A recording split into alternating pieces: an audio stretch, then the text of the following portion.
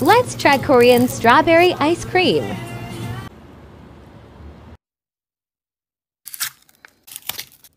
Tastes like frozen strawberry milkshake with strawberry pulp. What should I try next?